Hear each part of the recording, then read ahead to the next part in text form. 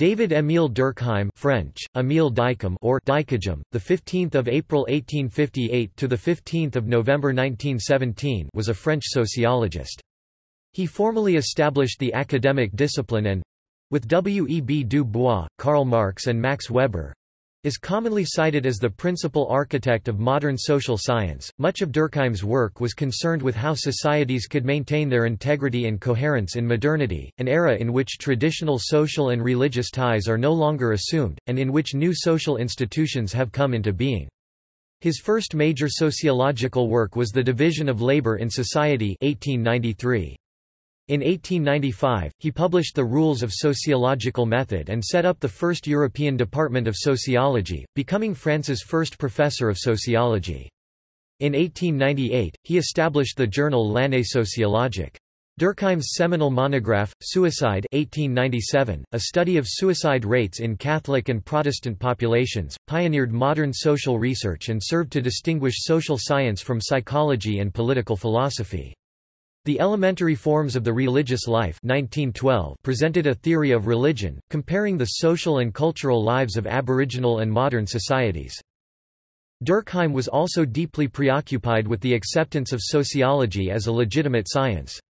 He refined the positivism originally set forth by Auguste Comte, promoting what could be considered as a form of epistemological realism, as well as the use of the hypothetico-deductive model in social science. For him, sociology was the science of institutions, if this term is understood in its broader meaning as beliefs and modes of behavior instituted by the collectivity, and its aim being to discover structural social facts. Durkheim was a major proponent of structural functionalism, a foundational perspective in both sociology and anthropology. In his view, social science should be purely holistic, that is, sociology should study phenomena attributed to society at large, rather than being limited to the specific actions of individuals. He remained a dominant force in French intellectual life until his death in 1917, presenting numerous lectures and published works on a variety of topics, including the sociology of knowledge, morality, social stratification, religion, law, education, and deviance. Durkheimian terms such as collective consciousness have since entered the popular lexicon.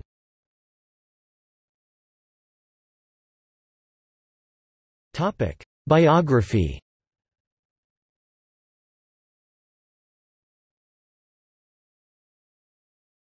Topic: Childhood and education. Émile Durkheim was born in Epinal in Lorraine, the son of Mélanie Isidore and Moïse Durkheim. He came from a long line of devout French Jews, his father, grandfather, and great-grandfather had been rabbis. He began his education in a rabbinical school, but at an early age, he decided not to follow in his family's footsteps and switched schools. Durkheim led a completely secular life. Much of his work was dedicated to demonstrating that religious phenomena stemmed from social rather than divine factors. While Durkheim chose not to follow in the family tradition, he did not sever ties with his family or with the Jewish community. Many of his most prominent collaborators and students were Jewish, and some were blood relations. Marcel Mauss, a notable social anthropologist of the pre-war era, was his nephew. One of his nieces was Claudette Raphael Bloch, a marine biologist and mother of Maurice Bloch, who became a noted anthropologist. A precocious student, Durkheim entered the École Normale Supérieure (ENS) in 1879, at his third attempt. The entering class that year was one of the most brilliant of the 19th century and many of his classmates, such as Jean Jaurès and Henri Bergson, would go on to become major figures in France's intellectual history. At the ENS, Durkheim studied under the direction of Numa Denis Fustel de Coulanges, a classicist with a social scientific outlook, and wrote his Latin dissertation on Montesquieu. At the same time, he read Auguste Comte and Herbert Spencer. Thus Durkheim became interested in a scientific approach to society very early on in his career. This meant the first of many conflicts with the French academic system, which had no social science curriculum at the time. Durkheim found humanistic studies uninteresting, turning his attention from psychology and philosophy to ethics and eventually, sociology. He obtained his agrégation in philosophy in 1882, though finishing next to last in his graduating class owing to serious illness the year before. The opportunity for Durkheim to receive a major academic appointment in Paris was inhibited by his approach to society. From 1882 to 1887 he taught philosophy at several provincial schools. In 1885 he decided to leave for Germany, where for two years he studied sociology at the universities of Marburg, Berlin and Leipzig. As Durkheim indicated in several essays, it was in Leipzig that he learned to appreciate the value of empiricism and its language of concrete, complex things, in sharp contrast to the more abstract, clear and simple ideas of the Cartesian method. By 1886, as part of his doctoral dissertation, he had completed the draft of his The Division of Labor in Society, and was working towards establishing the new science of sociology.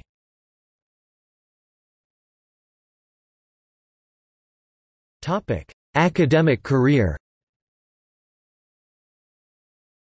Durkheim's period in Germany resulted in the publication of numerous articles on German social science and philosophy. Durkheim was particularly impressed by the work of Wilhelm Wundt. Durkheim's articles gained recognition in France, and he received a teaching appointment in the University of Bordeaux in 1887, where he was to teach the university's first social science course. His official title was Chargé d'une cours de sciences sociales et de pédagogie and thus he taught both pedagogy and sociology the latter had never been taught in France before. The appointment of the social scientist to the mostly humanistic faculty was an important sign of the change of times, and also the growing importance and recognition of the social sciences. From this position Durkheim helped reform the French school system and introduced the study of social science in its curriculum. However, his controversial beliefs that religion and morality could be explained in terms purely of social interaction earned him many critics. Also in 1887, Durkheim married Louise Dreyfus. They would have two children, Marie and André. The 1890s were a period of remarkable creative output for Durkheim. In 1893, he published The Division of Labor in Society, his doctoral dissertation and fundamental statement of the nature of human society and its development. Durkheim's interest in social phenomena was spurred on by politics. France's defeat in the Franco-Prussian War led to the fall of the regime of Napoleon III, which was then replaced by the Third Republic.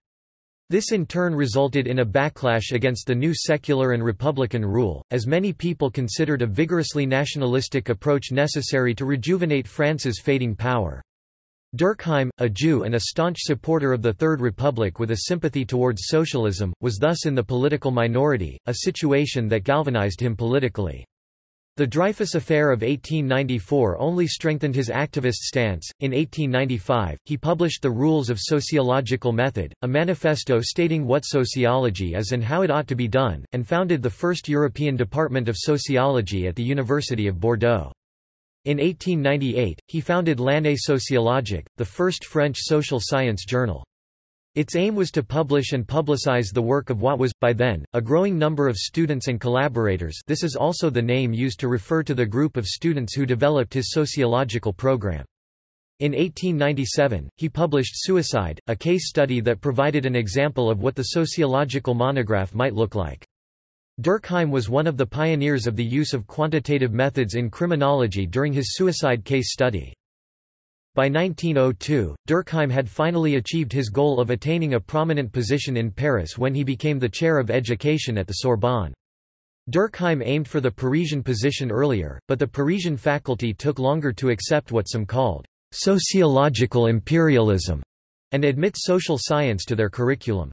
He became a full professor, professor of the science of education there in 1906, and in 1913 he was named chair in education and sociology.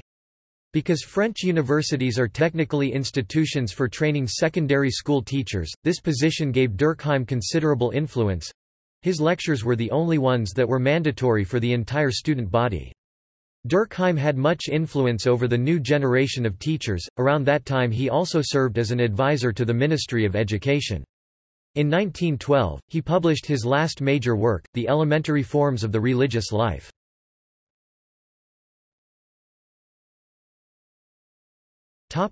Death The outbreak of World War I was to have a tragic effect on Durkheim's life. His leftism was always patriotic rather than internationalist. He sought a secular, rational form of French life. But the coming of the war and the inevitable nationalist propaganda that followed made it difficult to sustain this already nuanced position. While Durkheim actively worked to support his country in the war, his reluctance to give in to simplistic nationalist fervor combined with his Jewish background made him a natural target of the now ascendant French right. Even more seriously, the generations of students that Durkheim had trained were now being drafted to serve in the army, and many of them perished in the trenches. Finally, Durkheim's own son, André, died on the war front in December 1915—a loss from which Durkheim never recovered. Emotionally devastated, Durkheim collapsed of a stroke in Paris on November 15, 1917. He was buried at the Montparnasse Cemetery in Paris.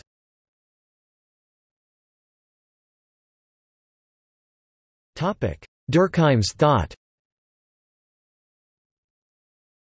Throughout his career, Durkheim was concerned primarily with three goals. First, to establish sociology as a new academic discipline.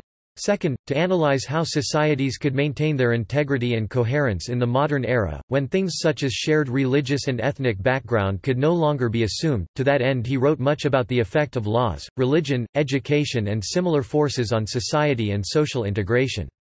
Lastly, Durkheim was concerned with the practical implications of scientific knowledge. The importance of social integration is expressed throughout Durkheim's work. For if society lacks the unity that derives from the fact that the relationships between its parts are exactly regulated, that unity resulting from the harmonious articulation of its various functions assured by effective discipline and if, in addition, society lacks the unity based upon the commitment of men's wills to a common objective, then it is no more than a pile of sand that the least jolt or the slightest puff will suffice to scatter.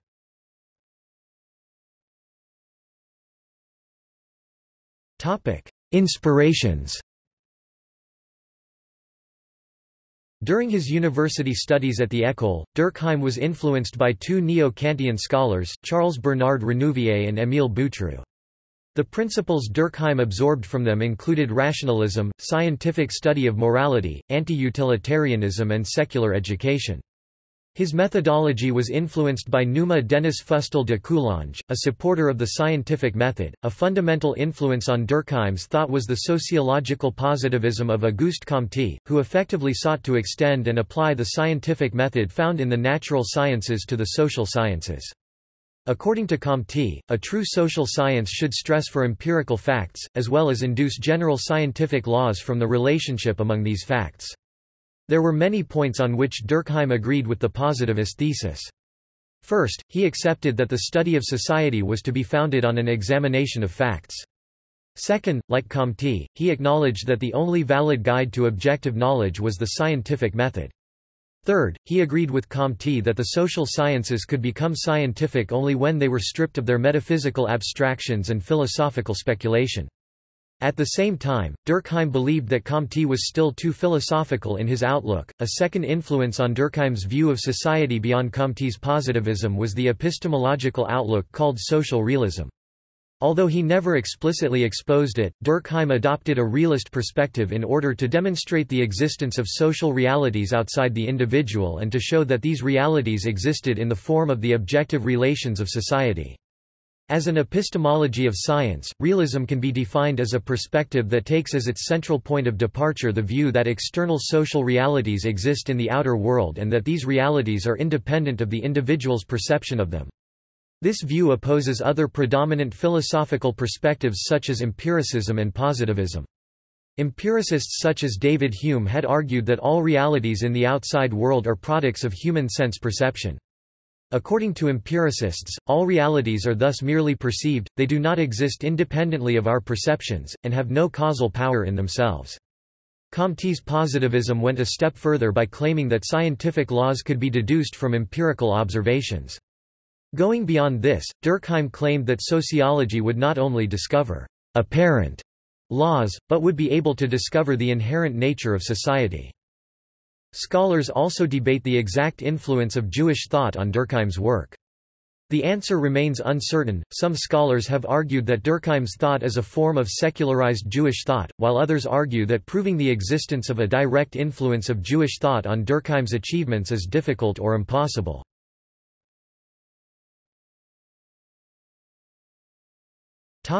Establishing sociology Durkheim authored some of the most programmatic statements on what sociology is and how it should be practiced. His concern was to establish sociology as a science. Arguing for a place for sociology among other sciences he wrote, Sociology is, then, not an auxiliary of any other science, it is itself a distinct and autonomous science. To give sociology a place in the academic world and to ensure that it is a legitimate science, it must have an object that is clear and distinct from philosophy or psychology, and its own methodology. He argued, "...there is in every society a certain group of phenomena which may be differentiated from those studied by the other natural sciences." A fundamental aim of sociology is to discover structural social facts Establishment of sociology as an independent, recognized academic discipline is amongst Durkheim's largest and most lasting legacies. Within sociology, his work has significantly influenced structuralism or structural functionalism. Scholars inspired by Durkheim include Marcel Mauss, Maurice Halbwachs, Célestin Bouglé, Alfred Radcliffe Brown, Talcott Parsons, Robert K. Merton, Jean Piaget, Claude Lévi-Strauss, Ferdinand de Saussure, Michel Foucault, Clifford Geertz, Peter Berger, Robert N. Bellah, social reformer Patrick Hunout and others.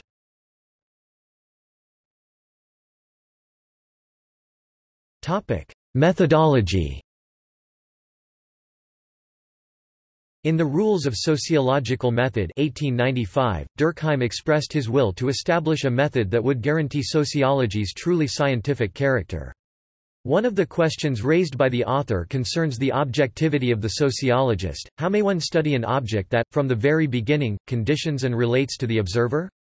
According to Durkheim, observation must be as impartial and impersonal as possible, even though a perfectly objective observation in this sense may never be attained. A social fact must always be studied according to its relation with other social facts, never according to the individual who studies it. Sociology should therefore privilege comparison rather than the study of singular independent facts. Durkheim sought to create one of the first rigorous scientific approaches to social phenomena. Along with Herbert Spencer, he was one of the first people to explain the existence and quality of different parts of a society by reference to what function they served in maintaining the quotidian i.e. by how they make society work. He also agreed with Spencer's organic analogy, comparing society to a living organism. Thus his work is sometimes seen as a precursor to functionalism. Durkheim also insisted that society was more than the sum of its parts. Unlike his contemporaries Ferdinand Tönnies and Max Weber, he did not focus on what motivates the actions of individuals an approach associated with methodological individualism, but rather on the study of social facts.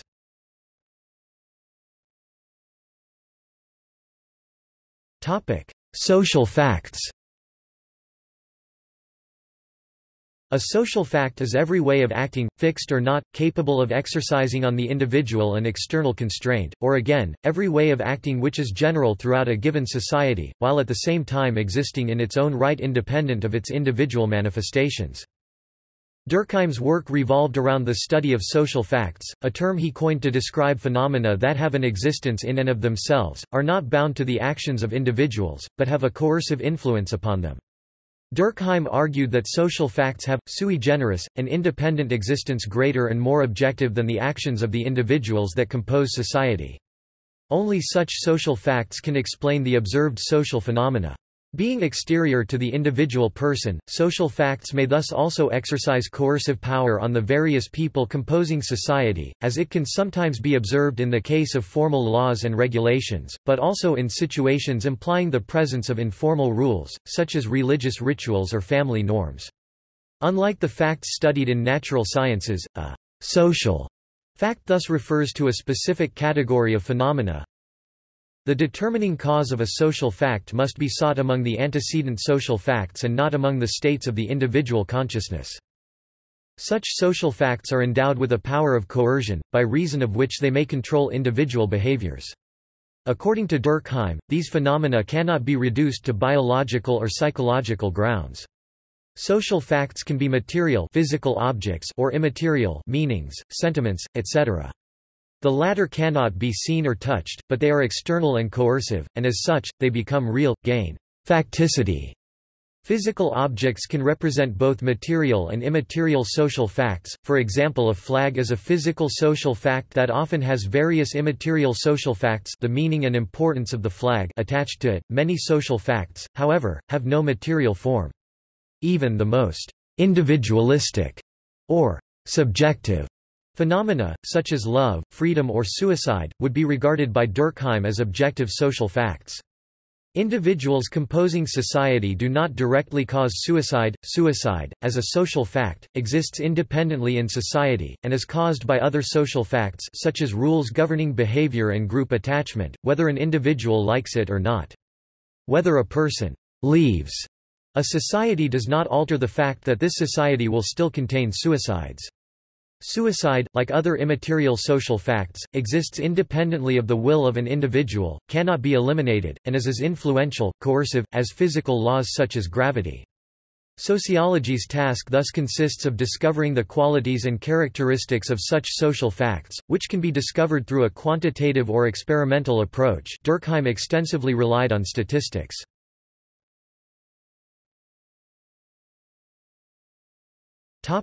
Society, collective consciousness and culture Regarding the society itself, like social institutions in general, Durkheim saw it as a set of social facts. Even more than, what society is, Durkheim was interested in answering, how is a society created? and what holds a society together? In the division of labor in society, Durkheim attempted to answer the question of what holds the society together. He assumes that humans are inherently egoistic, but norms, beliefs and values collective consciousness form the moral basis of the society, resulting in social integration. Collective consciousness is of key importance to the society, its requisite function without which the society cannot survive. Collective consciousness produces the society and holds it together, and at the same time individuals produce collective consciousness through their interactions. Through collective consciousness human beings become aware of one another as social beings, not just animals. The totality of beliefs and sentiments common to the average members of a society forms a determinate system with a life of its own. It can be termed the collective or common consciousness. In particular, the emotional part of the collective consciousness overrides our egoism. As we are emotionally bound to culture, we act socially because we recognize it as the responsible, moral way to act. A key to forming society is social interaction, and Durkheim believes that human beings, when in a group, will inevitably act in such a way that a society is formed. The importance of another key social fact, the culture. Groups, when interacting, create their own culture and attach powerful emotions to it. He was one of the first scholars to consider the question of culture so intensely. Durkheim was interested in cultural diversity, and how the existence of diversity nonetheless fails to destroy a society. To that, Durkheim answered that any apparent cultural diversity is overridden by a larger, common, and more generalized cultural system, and the law. In a socio-evolutionary approach, Durkheim described the evolution of societies from mechanical solidarity to organic solidarity one rising from mutual need. As the societies become more complex, evolving from mechanical to organic solidarity, the division of labor is counteracting and replacing collective consciousness. In the simpler societies, people are connected to others due to personal ties and traditions, in the larger, modern society they are connected due to increased reliance on others with regard to them performing their specialized tasks needed for the modern, highly complex society to survive. In mechanical solidarity, people are self-sufficient, there is little integration and thus there is the need for use of force and repression to keep society together. Also, in such societies, people have much fewer options in life. In organic solidarity, people are much more integrated and interdependent and specialization and cooperation is extensive. Progress from mechanical to organic solidarity is based first on population growth and increasing population density, second on increasing morality density, development of more complex social interactions and thirdly, on the increasing specialization in workplace. One of the ways mechanical and organic societies differ is the function of law. In mechanical society, the law is focused on its punitive aspect, and aims to reinforce the cohesion of the community, often by making the punishment public and extreme, whereas in the organic society, the law focuses on repairing the damage done and is more focused on individuals than the community. One of the main features of the modern, organic society is the importance, sacredness even, given to the concept, social fact, of the individual. The individual, rather than the collective, becomes the focus of rights and responsibilities, the center of public and private rituals holding the society together, a function once performed by the religion. To stress the importance of this concept, Durkheim talked of the cult of the individual Thus very far from there being the antagonism between the individual and society which is often claimed, moral individualism, the cult of the individual, is in fact the product of society itself. It is society that instituted it and made of man the god whose servant it is. Durkheim saw the population density and growth as key factors in the evolution of the societies and advent of modernity. As the number of people in a given area increase, so does the number of interactions, and the society becomes more complex. Growing competition between the more numerous people also leads to further division of labor.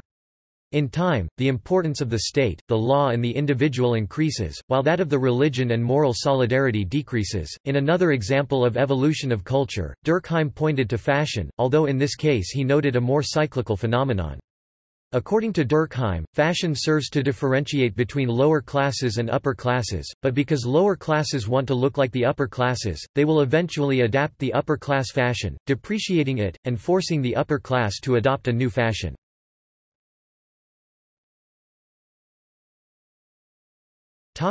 Social pathologies and crime As the society, Durkheim noted there are several possible pathologies that could lead to a breakdown of social integration and disintegration of the society. The two most important ones are anomie and forced division of labor, lesser ones include the lack of coordination and suicide. By anomie Durkheim means a state when too rapid population growth reduces the amount of interaction between various groups, which in turn leads to a breakdown of understanding norms, values, and so on. By forced division of labor Durkheim means a situation where power holders, driven by their desire for profit greed, results in people doing the work they are unsuited for. Such people are unhappy, and their desire to change the system can destabilize the society. Durkheim's views on crime were a departure from conventional notions. He believed that crime is bound up with the fundamental conditions of all social life and serves a social function. He stated that crime implies not only that the way remains open to necessary changes but that in certain cases it directly prepares these changes." Examining the trial of Socrates, he argues that, "...his crime, namely, the independence of his thought, rendered a service not only to humanity but to his country." As, "...it served to prepare a new morality and faith that the Athenians needed." As such, his crime, "...was a useful prelude to reforms." In this sense, he saw crime as being able to release certain social tensions and so have a cleansing or purging effect in society. He further stated that, "...the authority which the moral conscience enjoys must not be excessive, otherwise, no one would dare to criticize it, and it would too easily congeal into an immutable form." To make progress, individual originality must be able to express itself, even the originality of the criminal, shall also be possible.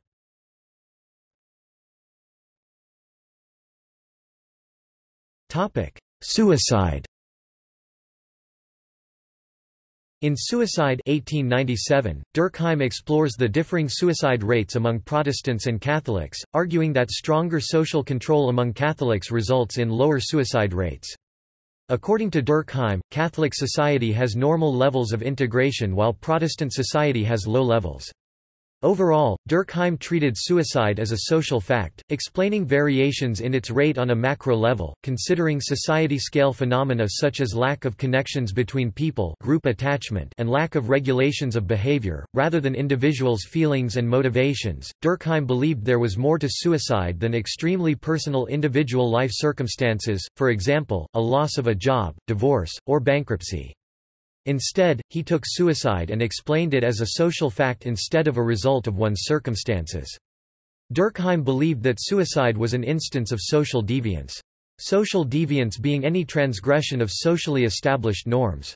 He created a normative theory of suicide focusing on the conditions of group life. The four different types of suicide that he proposed are egoistic, altruistic, anomic, and fatalistic. He began by plotting social regulation on the x-axis of his chart, and social integration on the y-axis. Egoistic suicide corresponds to a low level of social integration. When one is not well integrated into a social group it can lead to a feeling that he or she has not made a difference in anyone's lives. On the other hand, too much social integration would be altruistic suicide. This occurs when a group dominates the life of an individual to a degree where they feel meaningless to society. Anomic suicide occurs when one has an insufficient amount of social regulation. This stems from the sociological term anomie meaning a sense of aimlessness or despair that arises from the inability to reasonably expect life to be predictable. Lastly, there is fatalistic suicide, which results from too much social regulation. An example of this would be when one follows the same routine day after day. This leads to he or she believing there is nothing good to look forward to. Durkheim suggested this was the most popular form of suicide for prisoners. This study has been extensively discussed by later scholars and several major criticisms have emerged. First, Durkheim took most of his data from earlier researchers, notably Adolf Wagner and Henry Morselli, who were much more careful in generalizing from their own data. Second, later researchers found that the Protestant-Catholic differences in suicide seem to be limited to German-speaking Europe and thus may have always been the spurious reflection of other factors. Durkheim's study of suicide has been criticized as an example of the logical error termed the ecological fallacy. However, diverging views have contested whether Durkheim's work really contained an ecological fallacy. More recent authors such as Berk 2006 have also questioned the micro-macro relations underlying Durkheim's work. Some, such as Inkeles (1959), Johnson (1965), and Gibbs (1968), have claimed that Durkheim's only intent was to explain suicide sociologically within a holistic perspective, emphasizing that he intended his theory to explain variation among social environments in the incidence of suicide, not the suicides of particular individuals. Despite its limitations, Durkheim's work on suicide has influenced proponents of control theory, and is often mentioned as a classic sociological study. The book pioneered modern social research and served to distinguish social science from psychology and political philosophy.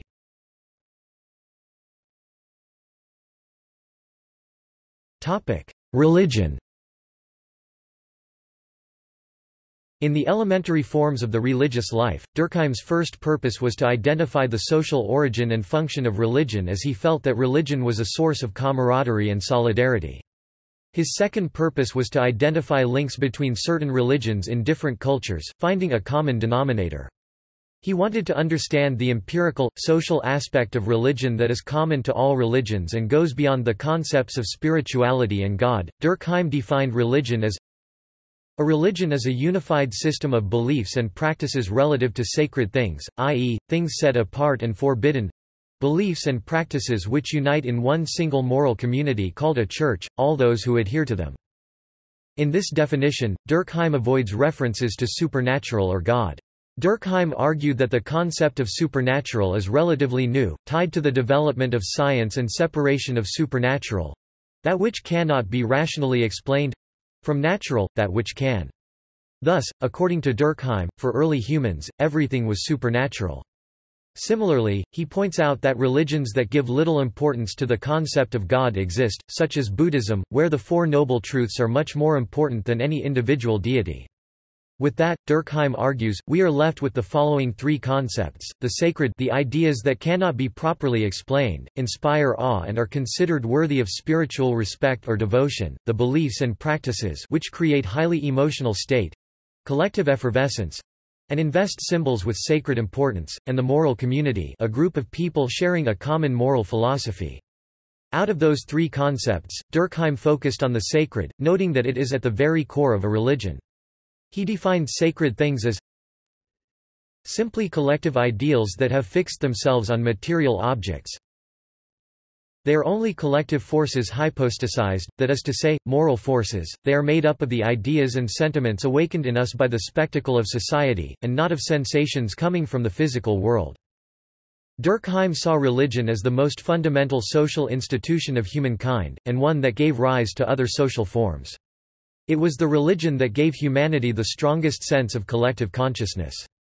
Durkheim saw the religion as a force that emerged in the early hunter and gatherer societies, as the emotions' collective effervescence run high in the growing groups, forcing them to act in a new ways, and giving them a sense of some hidden force driving them. Over time, as emotions became symbolized and interactions ritualized, religion became more organized, giving a rise to the division between the sacred and the profane. However, Durkheim also believed that religion was becoming less important, as it was being gradually superseded by science and the cult of an individual. Thus there is something eternal in religion that is destined to outlive the succession of particular symbols in which religious thought has clothed itself. However, even if the religion was losing its importance for Durkheim, it still laid the foundation of modern society and the interactions that governed it. And despite the advent of alternative forces, Durkheim argued that no replacement for the force of religion had yet been created.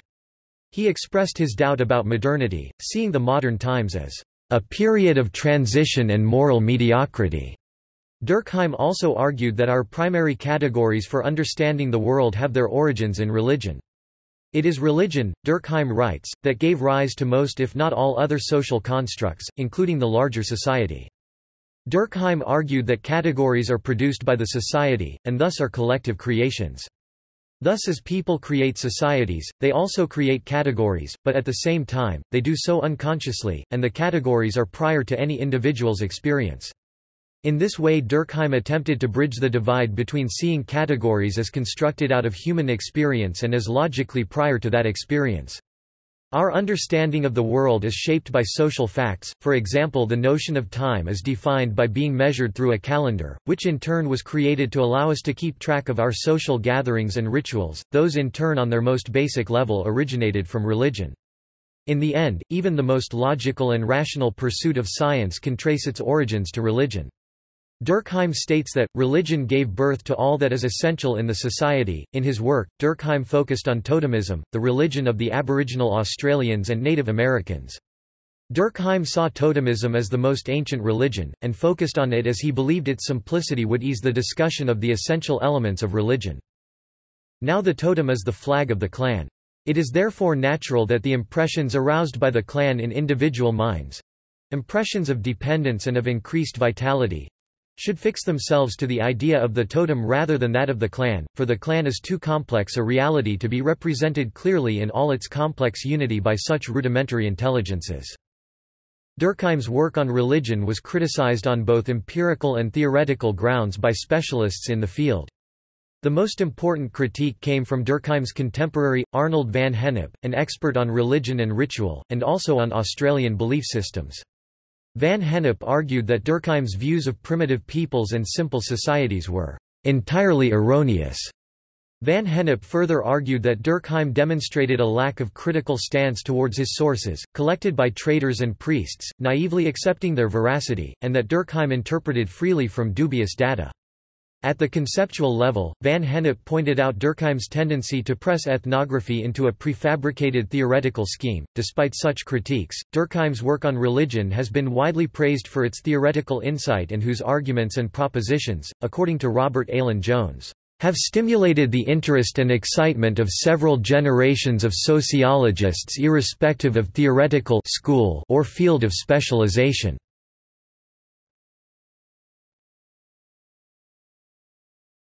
Topic: Sociology and philosophy.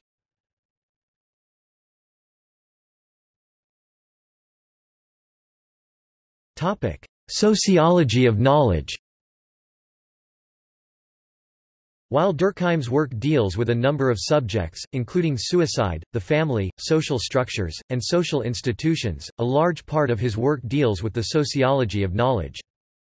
While publishing short articles on the subject earlier in his career for example the essay De quelques formes primitives de classification written in 1902 with Marcel Mauss, Durkheim's definitive statement concerning the sociology of knowledge comes in his 1912 magnum opus The Elementary Forms of Religious Life.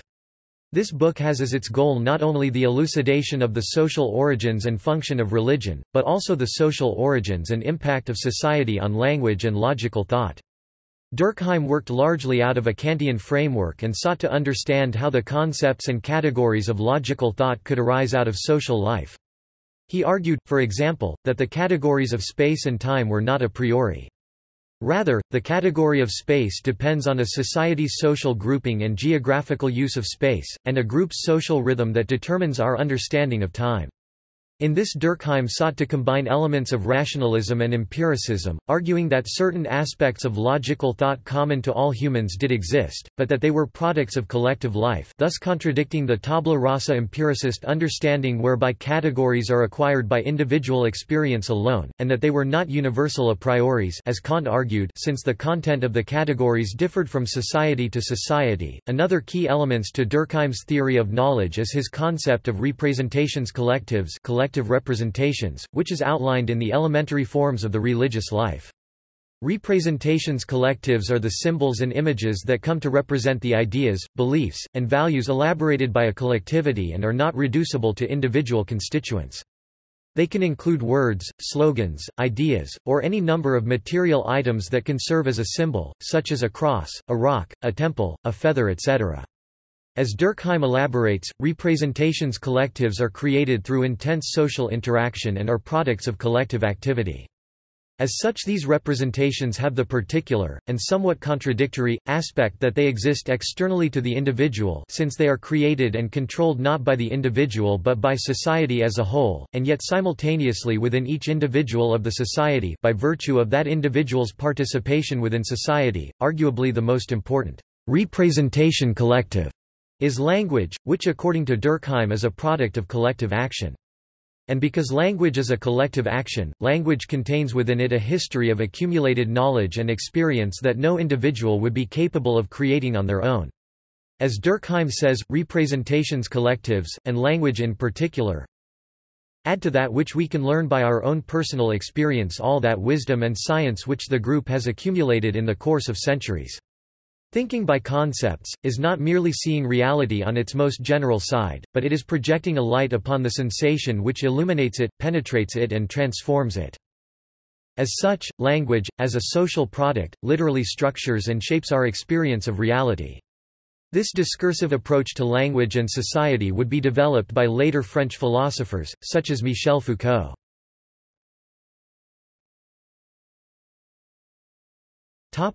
Morality Durkheim defines morality as a system of rules for conduct. His analysis of morality is strongly marked by Immanuel Kant and his notion of duty. While Durkheim was influenced by Kant, he was highly critical of aspects of the latter's moral theory and developed his own positions. Durkheim agrees with Kant that within morality, there is an element of obligation. A moral authority which, by manifesting itself in certain precepts particularly important to it, confers upon moral rules an obligatory character. Morality tells us how to act from a position of superiority. There exists a certain, pre-established moral norm to which we must conform. It is through this view that Durkheim makes a first critique of Kant in saying that moral duties originate in society, and are not to be found in some universal moral concept such as the categorical imperative. Durkheim also argues that morality is characterized not just by this obligation, but is also something that is desired by the individual. The individual believes that by adhering to morality, they are serving the common good, and for this reason, the individual submits voluntarily to the moral commandment. However, in order to accomplish its aims, morality must be legitimate in the eyes of those to whom it speaks. As Durkheim argues, this moral authority is primarily to be located in religion, which is why in any religion one finds a code of morality. For Durkheim, it is only society that has the resources, the respect, and the power to cultivate within an individual both the obligatory and the desirous aspects of morality. Deviance Durkheim thought that deviance was an essential component of a functional society. He believed that deviance had three possible effects on society. First, Durkheim thought that deviance could challenge the perspective and thoughts of the general population, leading to social change by pointing out a flaw in society. Secondly, deviant acts could also support existing social norms and beliefs by evoking the population to discipline the actors. Finally, Durkheim believed that reactions to deviant activity could increase camaraderie and social support among the population affected by the activity. Durkheim's thoughts on deviance contributed to Robert Merton's strain theory.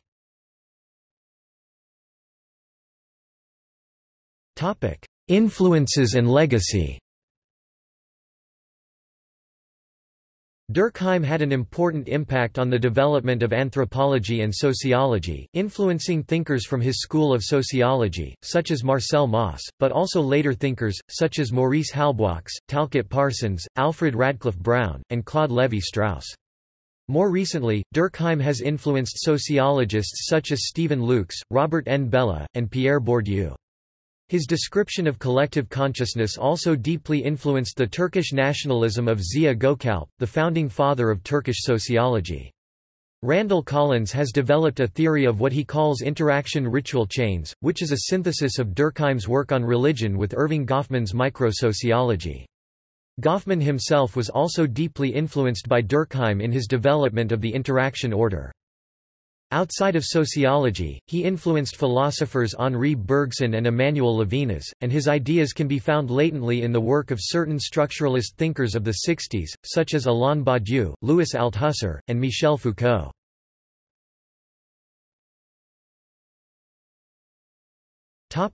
Durkheim contra Searle Much of Durkheim's work, however, remains unacknowledged in philosophy, despite its direct relevance. As proof one can look to John Searle, who wrote a book The Construction of Social Reality, in which he elaborates a theory of social facts and collective representations that he believed to be a landmark work that would bridge the gap between analytic and continental philosophy. Neil Gross however, demonstrates how Searle's views on society are more or less a reconstitution of Durkheim's theories of social facts, social institutions, collective representations and the like. Searle's ideas are thus open to the same criticisms as Durkheim's. Searle responded by saying that Durkheim's work was worse than he had originally believed, and, admitting that he had not read much of Durkheim's work, said that, "...because Durkheim's account seemed so impoverished I did not read any further in his work." Stephen Lukes, however, responded to Searle's response to Gross and refutes point by point the allegations that Searle makes against Durkheim, essentially upholding the argument of Gross, that Searle's work bears great resemblance to that of Durkheim's. Lukes attributes Searle's miscomprehension of Durkheim's work to the fact that Searle, quite simply, never read Durkheim.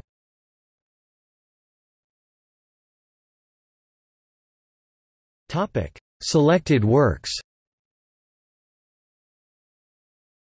Montesquieu's Contributions to the Formation of Social Science 1892 The Division of Labor in Society 1893 The Rules of Sociological Method 1895 On the Normality of Crime 1895 Suicide 1897 The Prohibition of Incest and its Origins 1897 published in L'Année sociologique volume 1 pp.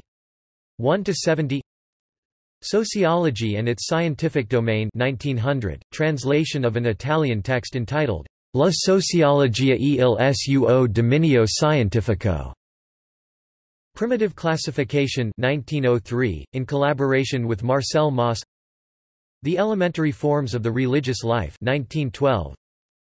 Who Wanted War? 1914, in collaboration with Ernest Denis Germany Above All 1915, published posthumously Education and Sociology 1922 Sociology and Philosophy 1924 Moral Education 1925 Socialism 1928 Pragmatism and Sociology 1955 sources.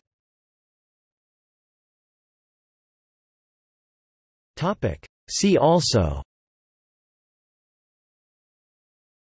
Normlessness notes